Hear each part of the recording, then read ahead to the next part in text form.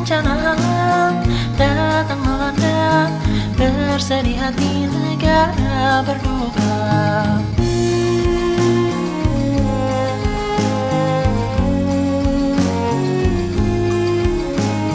Kerusakan yang ditimbulkan Runtuh bangunan serta korban jiwa.